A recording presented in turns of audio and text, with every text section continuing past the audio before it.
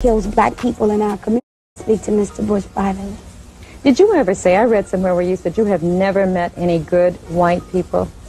Um, I said in the beginning of my slavery video that I hadn't met any good white people, and my definition of good is that you understand that this is a question of power, that you be willing to give up some power, that you be willing to give up some resources, that you be willing to pay black people reparations for our, hunt, our years and years of service in this country, uh, that you'd be willing to go home and tell your white mother and father about white racism and how it affects and kills black people in our communities. That's my definition of good white people, and I haven't met any like that. Speaking of power, how about empowerment? One of the criticisms that the mainstream community has of us is that we are lacking in family values. Right. We're children having children and men running the streets. Right. What do you say to that? Well, I think that the economic system in this country and the justice system in this country contributes to the delinquency and the destruction of the African family. I think the fact that 25% of the black male population is either in prison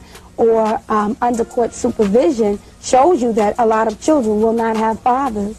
I think the fact that the economic system does not embrace uh, or allow African men to have a substantial position in it is the reason why you have so many people committing crimes. So I think it's just hypocritical and some type of trickery for white people and the government and the media to say that there's something wrong with the black community and not draw the link directly to the white power system and how it's designed. You have a survival guide for the black woman, for the African woman. Do you have one for the African man? Because you know he's endangered in this society. No, actually the survival guide that I have on my album is for um, men and women. I don't separate the issues. I don't consider myself to be a feminist.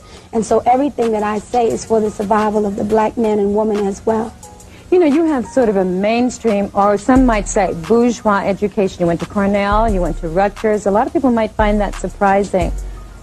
Where did you come from? Where were you born? New York City? I was born in the Bronx. I was raised on welfare. I lived in Section 8 housing in the projects. I had a single female headed household. So the only difference between me and some other people is that everything that I talk about, I've experienced. I've experienced all the programs of the Great Society, whether it was Head Start, free lunch, free cheese, free peanut butter, clothes, rent subsidies, or whatever it was.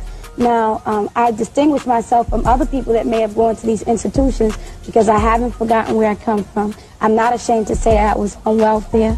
I'm not ashamed to talk about the pain that it causes in our community, and I'm not ashamed of myself in any way, shape, form, or fashion. I have absolutely no desire to be white.